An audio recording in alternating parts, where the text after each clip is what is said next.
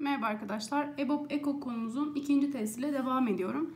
Birinci sorumuzda A ve B'nin EBOB'u ile ekoklarının değerini vermiş. Şimdi EBOB'ları 10, ekokları 60 ise bu sayının çarpımlarını istemiş. Biz şöyle bir ifade söylemiştik diğer testimizde. Herhangi iki sayının çarpımı bu sayıların EBOB'u ile ekokunun çarpımına eşittir. Dolayısıyla 10 çarpı 60'tan dolayı cevabımız 600 geldi.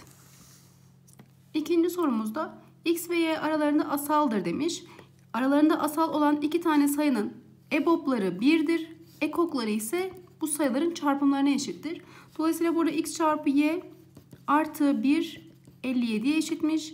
x çarpı y değerimiz de 56 geldi. Ekokları x çarpı y'ye eşit olduğuna göre cevabımız o zaman 56 oldu.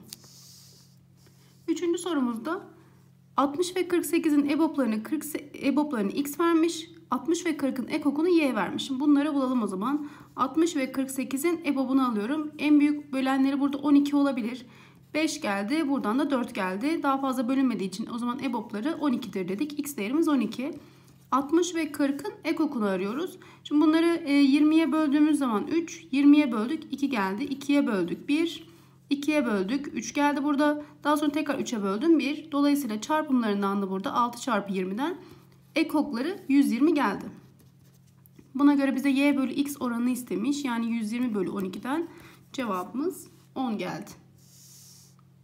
Dördüncü sorumuzda x ve 10'un EBOB ile ekoklarını vermiş. Buna göre şimdi yine aynı şekilde sayılarımızı biliyoruz. Sayılardan biri x, biri 10. Herhangi iki sayının çarpımı EBOB ile ekokunun çarpımı demiştik. Buna göre 10 ile 30'u sadeleştirdim. X değerimiz de buradan 15 geldi. Beşinci sorumuzda yukarıdaki dikdörtgenin bütün kenarlarının hiç artmayacak şekilde eşit parçalar oluşturulacaktır demiş tüm kenarlarından. Parça sayısı en az kaç olabilir? Şimdi öncelikle 80 e, ve 128'in sonuçta e, bir eşit parçalar oluşturacağına göre 80 ve 128'e ortak olarak bölünen bir sayı lazım ki kenarlarını eşit olarak yazabilelim. Burası ile burası eşit gelsin. 80 ve 128'in EBOB'unu alalım. E, buradaki ifadeyi şöyle bir yapalım. Önce 8'e bölsek 20 geldi. Burası 32 oldu. 4'e bölsek 5, 4'e bölersek 8. Dolayısıyla buradan EBOB'ları 16. Şimdi bu 16 dediğimiz ifade buradaki eşit kenarlardan birinin kenar uzunluğu. Şimdi bize parça sayısını sormuş. Bize o zaman bu çevreyi yani bu dikdörtgenin çevresini eşit parçalara böleceğine göre bize çevre lazım. Çevrede nedir o zaman bu dikdörtgenin? 80 artı 128 çarpı 2 bize dikdörtgenin çevresini verecektir. Ve bunu her birini 16 olacak şekilde 16 uzunlukları 16 olacak şekilde parçalara ayırdığımız zaman bu bize kaç tane olacağını verecek. Buradan 208 hatta 2 ile de 16'yı sadeleştirdim 8 geldi. 208 bölü 8'den de cevabımız 26 oldu. Altıncı soruda EBOB'ları 6 olan iki doğal sayının toplamı hangisi olamaz demiş. Şimdi EBOB'ları 6 ise yani bu iki tane sayı A ve B sayıları o zaman ikisi de 6'ya tam olarak bölünebilen sayılar. O zaman 6'ya e, e, A'yı 6'nın bir katı, B'yi de 6'nın başka bir katı olarak verdim. Bunların toplamını istemiş. Topladığımız zaman 6 parantezinde M artı K değeri geldi. Bu ifadenin o zaman toplamı mutlaka 6'nın bir katı olması gerekiyor. 60 olur, 24 olur, 30 olur, 12 olur ama 6'nın bir katı 20 olamaz. 7. soruda Ahmet 18 günde, Selim 30 günde bir Ankara'ya geliyor. Birlikte Ankara'ya geldikleri ilk günden sonra en az kaç gün geçmeli ki tekrar birlikte Ankara'ya gelsinler. Şimdi biri 18 günde biri 30 günde ise bunların ortak olarak birleştikleri bir gün lazım. O zaman 18 ve 30'un ortak katlarını alacağım. En küçük ortak katını ki ilk en az ne zaman sonra beraber denk geldiklerini bulabilelim. Dolayısıyla 18 ile 30'un en küçük ortak katını alıyorum. Burada 6'ya bölebilirim. 3. Buradan da 5 gelecek. 3'e böldüm 1. 5'e böldüm 1 geldi. Dolayısıyla buradan 90 oldu. İkisinin ortak katı. Buna göre ilk başta burada birlikte Ankara'ya geldiklerine göre 90 gün sonra tekrar birlikte Ankara'ya gelebilirler deriz. Yani cevabımız C şıkkı olur. 8. sorumuzda x, y pozitif tam sayı. Buna göre a sayısının şeklinde tanımlanmış a'nın en küçük değeri. Şimdi e, buradaki ifadeler 11'in katından 10 fazla demiş. 21'in katından 20 fazla. Biz bunları da burasını 11'in ve burası 21'in katı yapabilmek için bunlara bazı sayılar ekleyip ya da çıkarmamız lazım.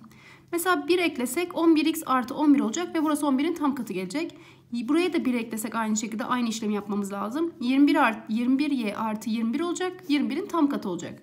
O zaman 1 eklediğimiz sağladıysa aynı şekilde 1'i buraya da ekliyorum. O zaman burası A artı 1 eşittir. Burası 11'in herhangi bir katı. Burası da 21'in herhangi bir katı. Dolayısıyla 11 ve 21'in en küçük ortak katını alacağım. Ekoklarını aldığımız zaman bu sayı A artı 1'e eşit olacak. Ve bize A'yı istediği için 1'i de karşı tarafa atacağım. O zaman A değerimiz 11 ile 21'in ekoklarının bir eksiği gelecektir. Dolayısıyla buradan cevabımız D şıkkı olacak. Dokuzuncu sorumuzda yüksel bir gösteri grubunda dansçıları beşerli gruplara ayırdığında 2, şöyle beşik, beşin bir katından 2 fazla, altışarlı gruplara ayırdığında 3, dokuzarlı gruplara ayırdığında ise 6 kişi dışarıda kalıyor. Bunların tamamına da A diyelim. Grupta kaç, kaç tane dansçı olabilir? Şimdi bunlara öyle bir sayı yine ekleyip ya da çıkartacağız ki bu ifadeler burası 5'in katı, burası 6'nın, burası 9'un tam katı gelsin. Mesela 3 eklediğimiz zaman 5x artı 5 olacak. 5'in tam katı. 5 sonuçta 5'i 5'e böldük. Kalan 0. Aynı şekilde 3 eklediğimiz zaman 6y artı 6. 9z artı 9 oldu. Tam katları geldi. O zaman buraya da 3 ekledim. Dolayısıyla burası a artı 3. 5'in, 6'nın ve 9'un tam katı gelecektir. O zaman bunların ekoklarını alacağız. 3'e bölelim. 2 geldi. Buradan 3 geldi. 2'ye böldüm. 3'e böleceğim ve 5'e böleceğim. Dolayısıyla bunların katları nedir? 9 çarpı 10'dan 90 gelecek. A artı 3 ifadesi grupta kaç tane dansçı olabilir? Yani şöyle olacak illa 90 olmak zorunda değil. A artı 3 ifadesi 90'ın herhangi bir katı olacak. Buradan eğer 90'ın e, katını 90 olarak alırsam A sayısı buradan 87 olacak ve olabilir dediğine göre şıklarda var. 87 olmasaydı bir sonraki katını alabilirdi. Mesela 90'ın katını aldık 180 geldi. A artı 3'ü 180 eşitlerdik. Şöyle A artı 3'ü 180 eşitlerdim. A değerimiz de 177 olabilirdi. Şıklarda hangisi varsa zaten 87'yi verdiği için cevabımız D geldi. 10. sorumuzda 98, 26 ve 154 kilogram olan 3 farklı kuru gıda ayrı ayrı birbirleriyle karıştırılmadan eşit kapasiteli paketlere konmak istiyor. Şimdi eşit kapasiteli dediğine göre her birini o zaman eşit eşit parçalara böleceğiz. Kaç tane geleceğini bulacağız. Kaç tane paket gerektiğini. Eşit kapasiteli böldüğüne göre o zaman bunların ortak bölenleri lazım ki paketlerde hepsinde aynı kilogramda olsun. Bunların EBOB'larını alalım. Burada e, şöyle yapabiliriz.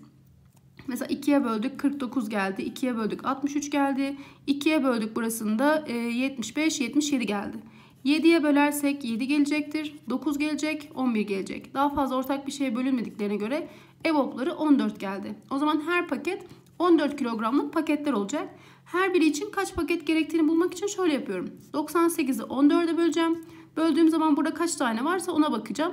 Buradan da kaç tane gelecektir? 7 tane gelecek. Aynı şekilde 126'yı 14'e böleceğim. Buradan 9 tane gelecek. 154'ü 14'e böleceğim. Buradan da 11 gelecek. Dolayısıyla bunların toplamları kadar paket gerektiği için cevabımız 27 geldi. 11. sorumuzda 112 ve 208 metre ebatlarına dikdörtgenin arazinin içi eşit kare parsellere ayıracak. Şimdi elimizde büyük bir dikdörtgen var. Bunu küçük küçük kare parsellere ayıracağım. Yani büyük parçadan küçük parçaya gidebilmem için bana EBOB lazım. En büyük ortak bölenlerini alacağım ki bunların burada en az şey, e, en az sayıda kare gelebilmesi için bir kenarı en uzun olan kare parseller olacağım. O yüzden de en büyük ortak bölenlerini arıyorum. 112'yi 208'e bölelim. Buradan e, öncelikle 2'ye bölebiliriz. Buradan ne gelecektir? 56 gelecek, 104 gelecek. 2'ye böldük 28, 52 geldi. Daha sonra e, 2'ye bölelim 14, 2'ye böldük 26, 2'ye böldük 7, 2'ye böldük 13. Buradaki ifade de o zaman nedir? 2 üzeri 4'ten ortak bölenler 16 gelecek. Yani burada oluşturduğu eşit kare parsellerin bir kenarının uzunluğu 16 olacak. Kaç tane oluşturduğunu bulmak için daha önceki testte de yapmıştık. Büyük parçanın e, alanını küçük parçanın alanına böldüğümüz zaman bize kaç tane adet yani kaç tane parsel gerektiğini verecek. Büyük geometrik şeklimiz 112 metre ve 208 metre ebatlarındaki dikdörtgen. Küçük geometrik şeklimiz bir kenarı 16 16 e, metre olan bir kare. Buna göre alanlarını böldüğümüz zaman adetini bulacağız. Böldüğümüz zaman buradan 7 gelecek. 208 16'ya böldüğümüz zaman da buradan 13 gelecek. Çarptığımız zaman da bu ifademiz 91 oldu. 12. sorumuzda boyutları 160 metre ve 180 metre olan dikdörtgen şeklindeki arsanın etrafına ve köşelerine de gelecek şekilde eşit aralıklı en az kaç tane kazık kullanılmalıdır demiş. Şimdi şu şekilde oluşturacak ve eşit olacakmış buradaki uzunluklar. Dolayısıyla bizden aslında çevresinden bahsediyor. Şimdi e, şöyle eşit olacağına göre buradan aynı şekilde e, buradaki uzunlukla buradaki uzunlukla birbirine eşit olacak. O zaman 160 ve 180'i bölen en büyük sayı lazım ki en az şekilde kazık çakılabilsin. Yani bu uzunluklar en az en fazla olsun. En fazla olabilmesi için de o zaman en büyük ortak bölenlerini bulacağım. Bu sayede de en az kazık kullanabileceğim. Böldüğümüz zaman 10'a bölebiliriz ilk başta. Buradan 16 gelecek. Buradan 18. 2'ye böldüm 8. 2'ye böldüm 9. Dolayısıyla EBOB'ları buradan 20 geldi. O zaman bu e, iki tane kazık arasındaki mesafe 20 metre olacaktır diyebiliriz. Şimdi çevresine döşediği için o zaman bize çevre lazım. Alan değil çevre bulacağım. Kaç tane olduğunu bulabilmek için bu dikdörtgenin çevresine bakıyorum. 2 çarpı kısa kenarla uzun kenarını topladım. Böldüğümüz ifade nedir? Bu iki kazık arasındaki mesafedir. Yani 20. Buna göre buradan 10 geldi. 340 bölü 10'dan da cevabımız 34 oldu. 13. soruda yukarıdaki eş dikdörtgenlerden en az kaç tanesiyle gösterildiği şekliyle kare oluşturulabilir demiş. Şimdi bu sefer elimizde küçük dikdörtgenler var, küçük parçalar var ve bunları birleştirerek büyük bir parça oluşturacağım. O zaman buradaki ifadelerin 9'un ve 8'in ortak bir katı lazım ki bu kareler oluşsun. Yani eşit gelsin burası. Dolayısıyla bizim burada ekok almamız lazım. 9 ile 8'in ekokunu aldığımız zaman zaten 9'a bölünür 8'e bölünür. Ekokları 72 gelecektir. O zaman e, kaç tane olduğunu bulabilmek için büyük geometrik şekil alanı küçük geometrik şekilde bölüyorsak büyük geometrik şeklimiz nedir? Oluşturduğumuz bu karenin alanı bir kenarı 72 olan bir kare oluşturmuştuk. Karenin kenar uzunluğu. Dolayısıyla alanı nedir? 72 çarpı 72 olacaktır. Küçük geometrik şeklimizde elimizdeki dikdörtgen 9 çarpı 8. Buna göre buradan 8 geldi. Buradan 9 geldi. 9 çarpı 8'den de 72 adet kare oluştur. Pardon 72 tane dikdörtgenden bir kare oluşturabiliriz. 14. soruda x, y, z pozitif tam sayı olduğuna göre demiş. x, y, z'nin en az olmasını istemiş bizden. Şimdi bu ifadelere tamamını a dersek. Bunları 18'in, 15'in ve 12'nin katı yapabilmek için her birine 5 eklersek eğer Burası 18 artı 18, 15 artı 15, 12z artı 12 gelecektir. O zaman burayı da aynı şekilde 5 ekledim sağladığı için. Şimdi biz buradaki x değerlerini istediğimiz için şöyle diyelim. Burası 18 artı 18 ise 18 parantezine aldık. Burası x artı 1 geldi. Burasını 15 parantezine aldım. y artı 1. Aynı şekilde pardon eşittir diyorum. Burasını 12 parantezine aldığımız zaman da z artı 1 geldi. Şimdi e, biz normalde buradaki x artı birlerle ilgilenmiyorduk. Çünkü direkt a sayısını istiyordu ama bu sefer x, y, z'leri istediği için bunları da bulmamız lazım. Bu şekilde ayırdım o yüzden. Şimdi 18'in, 15'in ve 12'nin ekokunu bulmamız lazım. Ortak katını buluyoruz biliyorsunuz. Buna göre 3'e böldüğümüz zaman 6, 5, 4 geldi. 2'ye böldüm 3, 5, 2. 2'ye böldük, 3'e böldük ve 5'e böldük. Çarptığımız zaman da ekoklarını 180 olarak bulduk.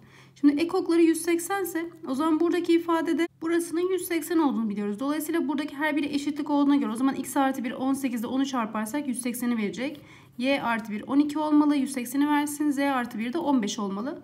Dolayısıyla buradaki e, x, x artı 1, y artı 1 ve z artı 1'i topladığımız zaman 37 değeri geliyor. Ama buradaki değerimiz şöyle x artı y artı z bir de her birinde 1 olduğu için artı 3 var. Dolayısıyla bu 3'ü de karşı tarafa attığımız zaman x ve y ve z'nin toplamı buradan 37, 34 pardon geldi. 15. soruda KMN pozitif tam sayı. A sayısı binden küçük olacak şekilde A en çok kaç olabilir? Şimdi e, bunların her birine 2 eklediğimiz zaman burada direkt 5M, 5N artı 5 geldi. 4M artı 4 yani buradaki 3'ün, 4'ün ve 5'in katlarını verdi. O zaman buraya da 2 ekledim.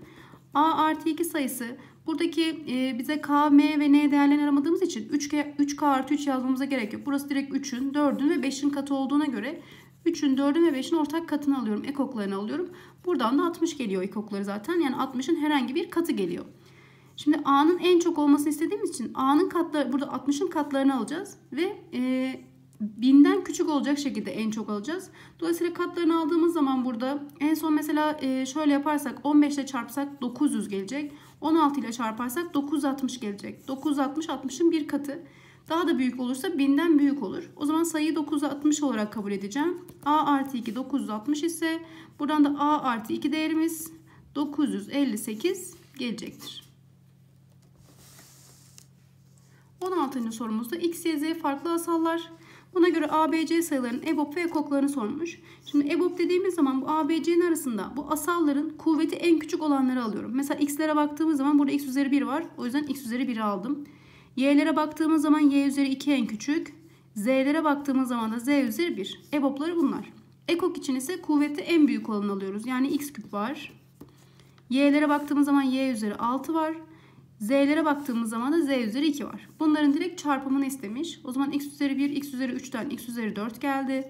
Y üzeri 2, y üzeri 6'dan y üzeri 8 geldi. Z üzeri 1, z üzeri 3, 2'den de z üzeri 3 geldi. Dolayısıyla bu çarpım D şıkkını verdi.